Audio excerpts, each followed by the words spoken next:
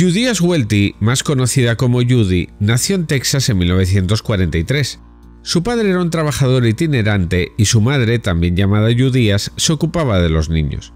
Desafortunadamente, su madre murió de tuberculosis cuando Judy tenía solo dos años y su padre no estaba dispuesto a criar a los niños solo.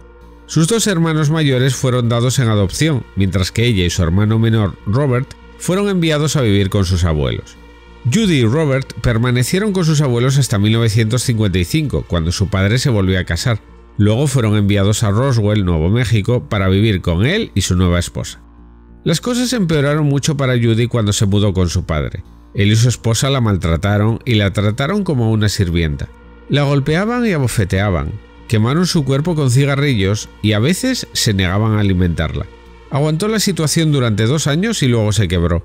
Atacó a su padre y a su madrastra golpeándolos con los puños y pateándolos. También arrojó aceite hirviendo a dos de sus hermanastros. Sus padres llamaron a la policía y la arrestaron. Aunque solo tenía 14 años, fue enviada a una cárcel para adultos y pasó en ella dos meses. Después de haber estado encerrada durante 60 días, un juez estaba listo para enviarla a casa, pero se negó a ir. Sabía que si volvía a casa sus padres seguirían abusando de ella, así que optó por ir a un reformatorio. Pasó dos años allí y se graduó en 1959. Después de graduarse, Judy regresó a Roswell, pero se negó a tener nada que ver con su familia. En cambio, encontró un trabajo como asistente de enfermería con un nombre falso, Anna Schultz. No está claro cómo se decidió por ese nombre, pero todavía lo usaba en marzo de 1961 cuando dio a luz a su primer hijo, un niño al que llamó Michael. Ella se negó a decírselo a quien fuera el padre del niño. Cuando Michael todavía era un bebé, Judy comenzó a salir con un oficial de la Fuerza Aérea llamado James Goodyear. Se casaron el 21 de enero de 1962 y Judy dejó de usar su seudónimo de Anna Schultz en ese momento. Quedó embarazada por segunda vez en 1965 y dio a luz a un hijo en enero de 1966. El niño se llamó James en honor a su padre y poco después del nacimiento del bebé, James Sr. adoptó legalmente al primer hijo de Judy, Michael. Judy volvió a quedar embarazada al año siguiente y dio a luz a una niña a la que llamó Kim. Cuando Kim aún era una bebé, la familia se mudó a Orlando y Judy abrió un centro de cuidado infantil en 1968. James fue enviado a Vietnam en 1970, dejando a Judy sola a cargo del negocio. James se ausentó durante un año y regresó a Orlando en el verano de 1971.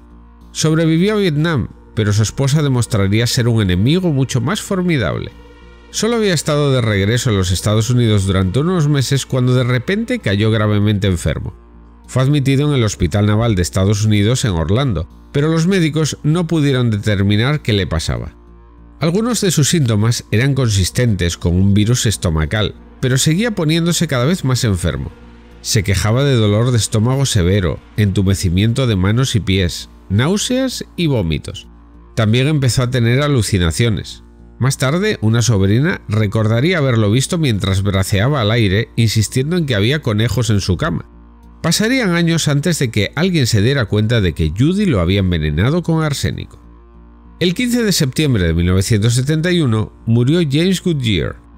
Judy parecía estar molesta por su repentina muerte, pero él tenía tres pólizas de seguro de vida diferentes y se animó visiblemente cuando solicitó las tres apenas cinco días después de la muerte de James. Un par de meses después, la casa de Judy se incendió y ella cobró 90 mil dólares de su póliza de seguro de hogar. Llena de dinero en efectivo, decidió que necesitaba un cambio de escenario. Orlando solo tenía malos recuerdos para ella en ese momento, por lo que tomó a sus hijos y se mudó a Pensacola. Fue en Pensacola donde Judy conoció a Bobby Joe Morris y se mudó a vivir con él en 1972. Los años siguientes fueron relativamente tranquilos para Judy. Bobby Joe se mudó por trabajo a Trinidad, Colorado, en 1977. Judy planeaba mudarse con él, pero permaneció en Florida unos meses para encargarse de algunas cosas. Poco después de que Bobby dejara el estado, la casa de Judy se incendió y recibió un pago de su póliza de seguro. Una vez que tuvo el dinero, se fue de Florida y se mudó con Bobby a Colorado. A los pocos meses, Bobby Joe se enfermó violentamente y tuvo que ser hospitalizado. Al igual que los médicos de Orlando que habían tratado a James Goodyear, los médicos de Bobby no pudieron determinar exactamente qué le pasaba. Además de las náuseas intensas y los ataques de diarrea, Bobby también se quejaba de un dolor insoportable en el pecho y las extremidades. Después de pasar dos días en el hospital, Bobby se recuperó lo suficiente como para ser dado de alta. Sin embargo, casi inmediatamente después de regresar a casa, volvió a enfermar.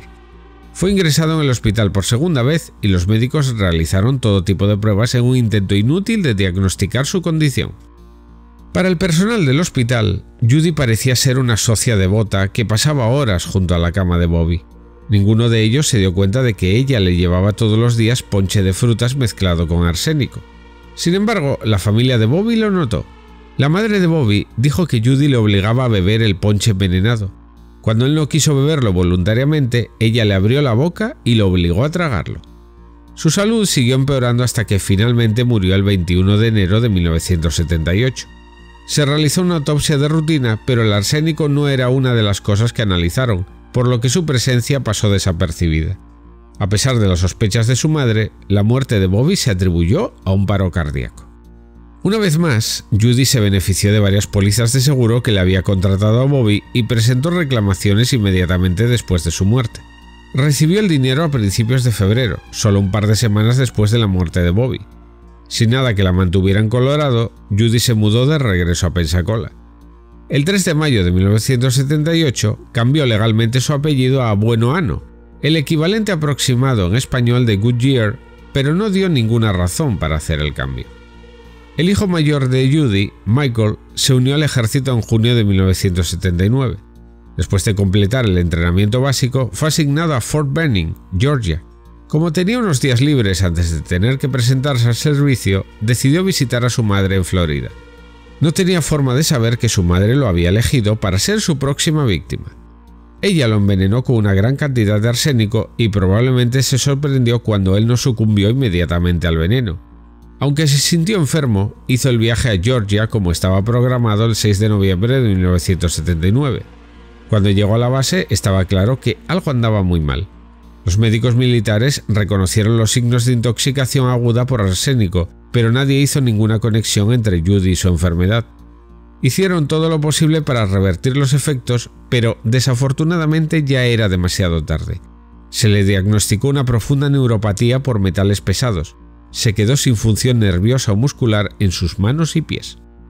Michael pasó más de tres meses en tratamiento en el hospital Walter Reed.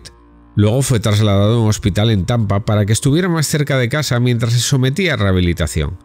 Estaba equipado con aparatos ortopédicos para las piernas y una prótesis en el brazo derecho, pero incluso con estos su movilidad era extremadamente limitada.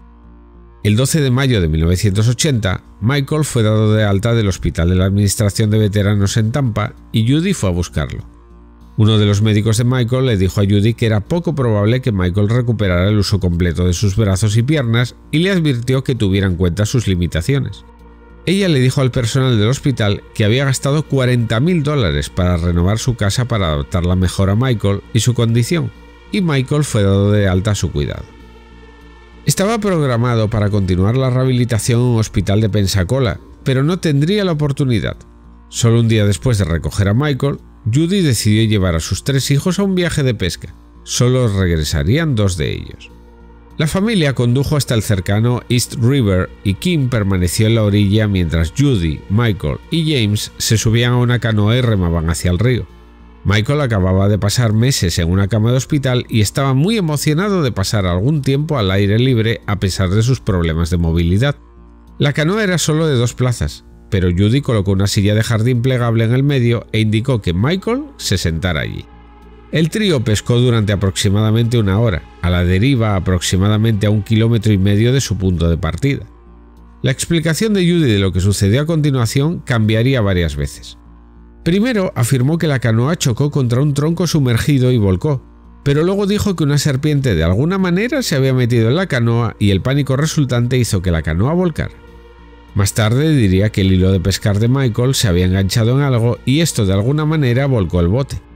No importa cómo sucedió. El resultado final fue que Michael, abrumado por los pesados tirantes de metal que llevaba, desapareció bajo la superficie del agua de inmediato. Cuando Judy salió a la superficie, afirmó que vio a James flotando boca abajo en el agua y rápidamente se movió para despejar sus vías respiratorias y traerlo de vuelta a la conciencia. Michael no estaba a la vista. No está claro cuánto tiempo estuvieron Judy y James flotando en el agua antes de que Ricky Hitch, un hombre que había estado pescando en la zona, los viera. Ricky no había visto el accidente, pero cuando se acercó vio la canoa volcada flotando cerca, junto con una hielera, una bolsa de comida y una sola chancleta. Judy le dijo a Ricky que una serpiente cayó dentro de la canoa y que ella estaba tratando de sujetarla con un remo cuando el bote volcó. No parecía particularmente molesta, un hecho que resultó extraño, ya que lo siguiente que le dijo a Ricky fue que uno de sus hijos había sido arrastrado bajo el agua y probablemente se había ahogado. Al describir la condición de Michael, le dijo a Ricky que sería inútil tratar de salvarlo. Ella estaba principalmente preocupada por James, quien afirmó que había quedado inconsciente cuando la canoa se volcó y no recordaba lo sucedido. Ricky se fue a pedir ayuda, pero no antes de que Judy le preguntara si podía tomar una de sus cervezas. Le dio una y la observó mientras se la bebía con calma. Si estaba preocupada por Michael, lo ocultaba muy bien. Más tarde, los equipos de rescate encontrarían el cuerpo de Michael a unos 400 metros de distancia de donde James y Judy habían sido rescatados. Aunque Judy insistió al principio en que Michael había estado usando un chaleco salvavidas, no lo encontraron y Judy finalmente admitió que no lo había usado. El médico de Michael se quedó estupefacto cuando se enteró de lo sucedido Judy era muy consciente de la condición de Michael y sabía que no podía nadar, lanzar un hilo de pescar o incluso sostener una caña. No podía creer que ella pusiera a Michael en esa posición. Otros que conocían a Judy también comenzaron a murmurar sobre ella a sus espaldas, pero la policía aceptó su versión de los hechos y no hubo una investigación a fondo sobre la muerte de su hijo. Michael tenía varias pólizas de seguro de vida, algunas de las cuales Judy había contratado cuando era niño y una que obtuvo a través del ejército. Judy, por supuesto, fue la única beneficiaria de todas ellas y recaudó cerca de 100.000 dólares cuando Michael murió. Utilizó la mayor parte del dinero para abrir un salón de belleza y manicura en Pensacola, pero también derrochó y compró un Corvette y algunas joyas caras. En febrero de 1981, Judy comenzó a salir con un hombre llamado John Gentry. John era un exitoso hombre de negocios y Judy se sintió atraída por su dinero. Para impresionar a John, Judy le dijo que tenía un doctorado en bioquímica y psicología y también afirmó que había sido la jefa de enfermería de un hospital del área. John creyó todo lo que ella le dijo y nunca se detuvo a cuestionar por qué alguien con credenciales tan elevadas estaría trabajando en un salón de belleza. Durante el tiempo que estuvieron saliendo, colmó a Judy con lujosos obsequios y la llevó de vacaciones caras. Judy se mudó a vivir con John en agosto, después de que habían estado saliendo durante unos seis meses. Ella le convenció de que sería una buena idea contratar un seguro de vida el uno para el otro. Estuvo de acuerdo y contrató una póliza de 50 mil dólares. En octubre de 1982, Judy aumentó el monto de la póliza a 500 mil, sin avisar a John. En diciembre, John se enfermó tanto que estuvo hospitalizado durante 12 días. Los médicos se esforzaron por determinar qué le pasaba, pero John pensó que tenía cierta idea. Judy le había dado recientemente algunas vitaminas que según ella eran necesarias para su salud. Creyendo su mentira sobre ser enfermera, John tomó las cápsulas sin dudarlo. Comenzó a sentir náuseas y mareos poco después de tomar la vitamina diaria, pero cuando le mencionó esto a Judy, ella le dijo que comenzara a duplicar la dosis. Se sintió mejor una vez que fue admitido en el hospital y ya no estaba tomando las vitaminas, y aunque estaba un poco preocupado, le dio a Judy el beneficio de la duda y no mencionó nada sobre sus sospechas. Tan pronto como fue dado de alta del hospital, Judy volvió a darle vitaminas. Le administró dos el primer día que estuvo en casa y experimentó el mismo tipo de mareos y náuseas que había tenido anteriormente. Al día siguiente se negó a tomarlas y se sintió bien. Judy no estaba contenta con esa decisión, pero se mantuvo firme. Iba a tirar las cápsulas que Judy le entregó a la mañana siguiente, pero algo le detuvo y las escondió en un bolsillo con cremallera de su maletín. John no tuvo problemas de salud durante los siguientes seis meses y en junio casi se había olvidado del incidente de las vitaminas. El 25 de junio de 1983, Judy organizó una cena en el restaurante Driftwood en el centro de Pensacola. Fue una especie de celebración, ya que Judy acababa de decirle a John que estaba embarazada de su hijo. John y Judy llegaron al restaurante en autos separados, ya que John había estado en el trabajo y se dirigió directamente al restaurante cuando terminó. Había planeado recoger a su madre, ya que se suponía que ella también iba a asistir a la fiesta, pero ese día no se sentía bien y decidió quedarse en casa. Cuando John llegó al restaurante, siguió las instrucciones de Judy para estacionarse en un lugar específico, aunque no estaba muy seguro de por qué ella quería que lo hiciera. Cuando la fiesta estaba terminando esa noche, Judy le pidió a John que saliera corriendo a buscar una botella de champán para que pudieran seguir celebrando en privado cuando llegaran a casa. Aún emocionado por la noticia de que iba a ser padre, John estaba más que feliz de complacer a Judy con una carrera rápida a la licorería. Sin embargo, tan pronto como se subió a su automóvil y lo puso en marcha, el auto explotó. La explosión envió ondas de choque a todo el bloque. Milagrosamente, John no murió en la explosión, pero perdió partes de su riñón, hígado, estómago e intestinos. Judy salió corriendo del restaurante tan pronto como escuchó la explosión y sin duda se sorprendió al ver que John aún respiraba. Sin embargo, rápidamente se reunió una multitud y Judy no pudo hacer nada excepto acunar la cabeza de John y decirle repetidamente que lo amaba. Fue un espectáculo convincente y nadie que presenciara la escena habría pensado que Judy era la responsable. Los paramédicos llegaron rápidamente y estabilizaron a John para que lo llevaran al hospital. Pasaría el mes siguiente en cuidados intensivos y luego otros dos meses en una unidad de transición. A pesar de sus horribles heridas, sabía que tenía suerte de estar vivo y estaba agradecido de que su madre no hubiera estado en el auto con él esa noche. Los investigadores no tardaron mucho en encontrar un sospechoso en el caso del coche bomba. Los detectives fueron enviados al hospital al principio de la recuperación de John para tomarle declaración. Tenían en cuenta el hecho de que estaba gravemente herido, pero querían asegurarse de entrevistarlo ante la previsión de que su salud empeorara. John les contó a los detectives cómo había estado en el hospital el invierno anterior debido a una enfermedad no diagnosticada y mencionó que creía que las cápsulas de vitamina que Judy le dio eran las culpables. Los detectives se alegraron de saber que John había guardado dos de las cápsulas y las enviaron inmediatamente a un laboratorio del FBI para su análisis. Sospechaban que Judy había envenenado a John y el análisis de las cápsulas lo confirmó. Contenían paraformaldehído, una sustancia tóxica y corrosiva relacionada con el formaldehído que es letal incluso en dosis relativamente pequeñas. Cuando los investigadores comenzaron a entrevistar a los amigos y compañeros de trabajo de Judy, se enteraron de que cuando Judy le estaba administrando las vitaminas envenenadas a John, comentó a varias personas que a John le habían diagnosticado una enfermedad terminal.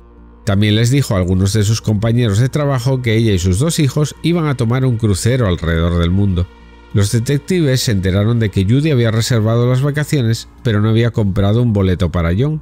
Estaba claro que ella creía que para entonces estaría muerto. Mientras los investigadores indagaban más profundamente en el pasado de Judy, John se enteró de que gran parte de lo que Judy le había dicho era falso. No tenía títulos superiores y no había sido jefe de ningún departamento de enfermería. Ella había sido un auxiliar de enfermería en un corto espacio de tiempo, pero nunca había sido una enfermera registrada y ciertamente nunca había estado en una posición de autoridad sobre otros. Quizás lo más impactante para John es que Judy mintió acerca de estar embarazada de su hijo. Era estéril después de haber tenido una ligadura de trompas una década antes. Los detectives sabían que Judy había intentado envenenar a John, pero eso por sí solo no fue suficiente para acusarla del atentado con coche bomba. Con la ayuda de las autoridades federales pudieron rastrear la dinamita utilizada hasta uno de los amigos de Judy en Alabama. En un intento por absolverse de cualquier delito, el amigo insistió en que la dinamita había sido robada de la parte trasera de su camioneta unos días antes de que el auto de John explotara. Sin embargo, utilizando registros telefónicos, los investigadores determinaron que Judy y este amigo habían estado en contacto constante hasta el día del atentado. Segura de que Judy era la responsable, la policía obtuvo una orden de registro para su casa. En su habitación encontraron alambre y cinta adhesiva idénticos a los que se habían usado en el coche bomba. También encontraron marihuana y una escopeta recortada en la habitación de su hijo James. Fue suficiente para arrestarlos a ambos, a James por posesión de un arma ilegal y drogas y a Judy por intento de asesinato. Judy pudo pagar la fianza por el cargo de intento de asesinato, pero no sería una mujer libre por mucho tiempo. Mientras los investigadores realizaban entrevistas a personas que conocían a Judy, se enteraron de cómo su hijo, su novio y su primer marido habían muerto de forma repentina. Preocupados porque estaban lidiando con una posible asesina en serie, echaron un segundo vistazo a las muertes de Bobby Joe Morris, James Goodyear y Michael Bonoano. El 11 de enero de 1984, Judy fue acusada del asesinato en primer grado de Michael, también fue acusada de hurto mayor relacionado con los pagos del seguro de vida que había recibido. Judy fue llevada de nuevo a la cárcel, donde rápidamente fingió un ataque de epilepsia cuando se dio cuenta de que no podía librarse de estos cargos. La llevaron a un hospital para observación, pero la enviaron de regreso a la cárcel a la mañana siguiente. La red se estaba apretando a su alrededor, pero los investigadores aún no habían terminado. El 11 de febrero de 1984, el cuerpo de Bobby Joe fue exhumado y examinado en busca de veneno. Al mes siguiente se exhumó el cuerpo de James Goodyear, las pruebas determinaron que ambos hombres habían muerto por envenenamiento por arsénico. El 22 de marzo de 1984, Judy fue juzgada por la muerte de su hijo Michael. Los testigos declararon que Judy nunca había sido cercana a Michael y lo trataba de manera diferente a sus otros dos hijos. Constance Lang, que a menudo había sido la niñera de Judy cuando los niños eran pequeños, le dijo al jurado que Judy se había sentido avergonzada por Michael y que no le permitiría quedarse en la casa si había visitas. A diferencia de sus dos hijos menores, Michael había nacido fuera del matrimonio. También tuvo problemas en la escuela, tenía problemas emocionales, era socialmente incómodo y parecía tener miedo de todo. Estos eran signos de debilidad a los ojos de Judy y no quería tener nada que ver con Michael. El fiscal insistió en que el ahogamiento de Michael no había sido accidental. Señaló que la canoa se había volcado en uno de los pocos lugares del río que estaba completamente aislado. Judy había esperado hasta estar segura de que no podía haber testigos, y luego arrojó a Michael fuera de la canoa a propósito. Ricky Hicks, quien había encontrado a Judy James en el río ese día, testificó que los había llevado a la orilla donde se encontraron con Kim, de 13 años. No pareció sorprendida por el hecho de que solo uno de sus hermanos hubiera regresado a la orilla. Ni siquiera se molestó en preguntar qué le había pasado a Michael. Era como si supiera de antemano que Michael no regresaría. El jurado no tardó en llegar a un acuerdo sobre el veredicto. Judy fue condenada por todos los cargos y sentenciada a cadena perpetua más 15 años por fraude a aseguradoras. Judy apenas tuvo tiempo de procesar lo que esto significaba antes de volver a ser juzgada, esta vez por el intento de asesinato de John Gentry. Su hijo, James, también había sido acusado de intento de asesinato y su juicio se celebró poco antes del de Judy. La fiscalía alegó que James era la persona responsable de poner la bomba dentro del automóvil de John pero no tenían pruebas directas para respaldar el reclamo y el jurado lo absolvió. Judy no tendría tanta suerte. Fue declarada culpable y condenada a 12 años de prisión. El 22 de octubre de 1985, Judy fue juzgada por la muerte de su primer marido. Durante el juicio, Judy negó haber actuado mal. Ella no podía discutir el hecho de que James tenía niveles letales de arsénico en su sistema, pero afirmó que no tenía idea de dónde provenía el arsénico. En su tiempo en el estrado de los testigos, Judy vaciló entre llorar y hacer comentarios arrogantes y condescendientes. Insistió en que su arresto había sido el resultado de una caza de brujas. También afirmó que nunca había intentado envenenar a John Gendry. Ella le dijo al jurado que si realmente le había dado vitaminas envenenadas fue por accidente. Su mejor amiga, Constance Lang, cuestionó este punto. Testificó que Judy le dijo que podían terminar con sus infelices matrimonios poniendo arsénico en la comida de sus maridos. En ese momento, Constance se encogió de hombros como una broma. Aunque estaba en un matrimonio infeliz, resolvió el problema divorciándose. El esposo de Judy murió poco después de tener esta conversación. Se le permitió al fiscal presentar pruebas relativas a las otras víctimas de Judy y la cantidad de dinero que recaudó en cada muerte. Judy admitió que recibió un pago de seguro en cada caso, pero negó con vehemencia haber matado a alguna de las víctimas. El jurado no la creyó Después de 10 horas de deliberaciones, encontraron a Judy culpable de asesinato en primer grado. A medida que el caso pasó a la fase de pena, los fiscales anunciaron que buscarían la pena de muerte. La audiencia de sentencia duró dos días. Cuando terminó, el jurado recomendó que Judy fuera condenada a muerte, pero su destino final estaba en manos del juez Emerson Thompson. Tenía autoridad para ir en contra de la recomendación del jurado y estudió el caso durante unas tres horas antes de anunciar su decisión. Judy hizo un último intento por salvar su vida, diciéndole al juez que no había matado a nadie y rogándole que le perdonara la vida. No le conmovió su súplica. El 26 de noviembre de 1985 condenó a Judy a morir en la silla eléctrica. Los fiscales de Colorado estaban dispuestos a juzgar a Judy por el asesinato de Bobby Joe Morris, pero optaron por no hacerlo después de que recibió la pena de muerte en Florida. No existe un estatuto de limitaciones para el asesinato, si Judy podía apelar con éxito su caso en Florida, el estado de Colorado la juzgaría por el asesinato de Bobby. Incluso sin un juicio, la familia de Bobby confiaba en que Judy había sido la persona responsable de su muerte y se sintieron un poco aliviados al saber que nunca sería una mujer libre. Judy se instaló en la monotonía de la vida en el corredor de la muerte, pero continuó insistiendo en que era inocente de todos los delitos. A pesar de haber sido declarada culpable y condenada a muerte, confiaba en que nunca se enfrentaría a la ejecución. Su confianza no estaba del todo fuera de lugar. El estado de Florida no había ejecutado a una mujer en más de 150 años. Cuando comenzó el proceso de apelación, Judy estaba optimista de que su sentencia de muerte sería revocada.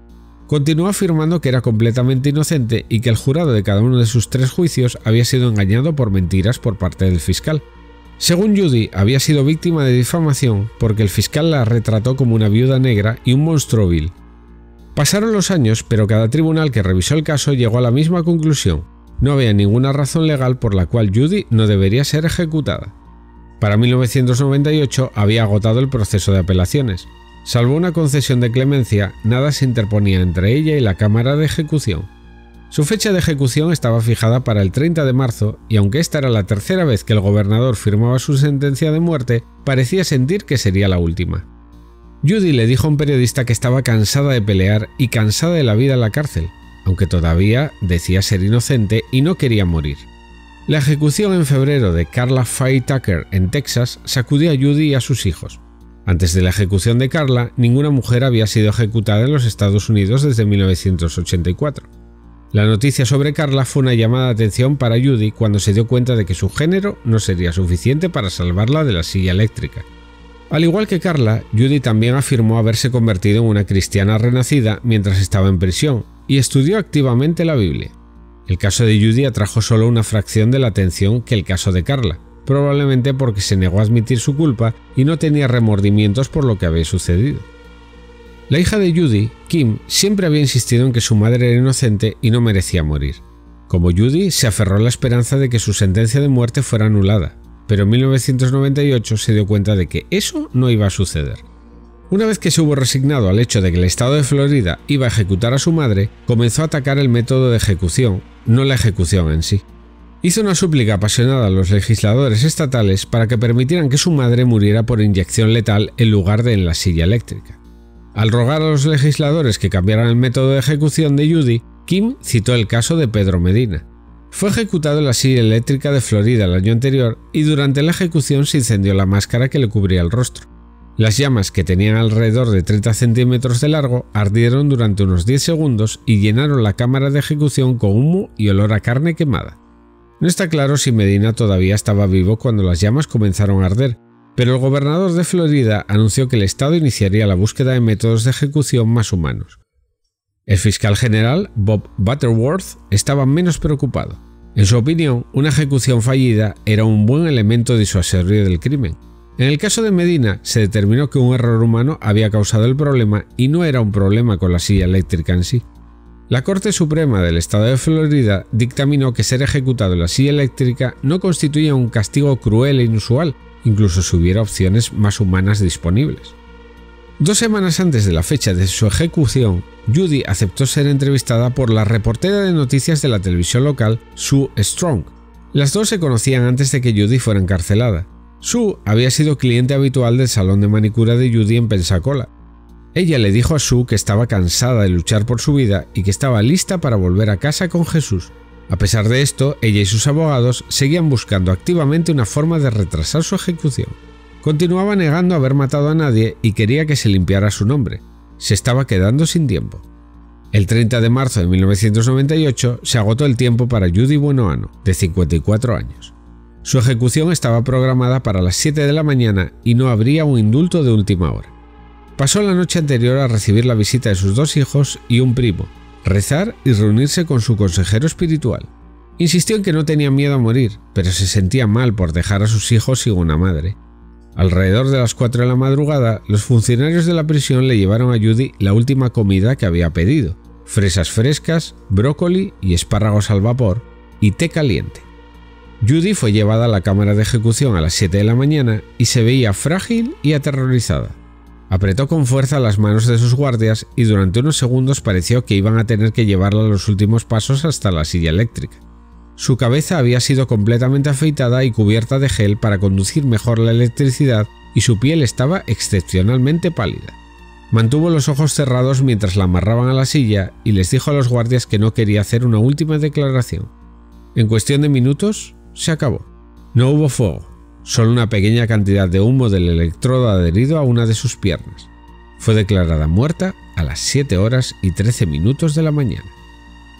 Si quieres que el canal siga adelante, dale like al vídeo, compártelo y suscríbete al club de los caminantes del terror.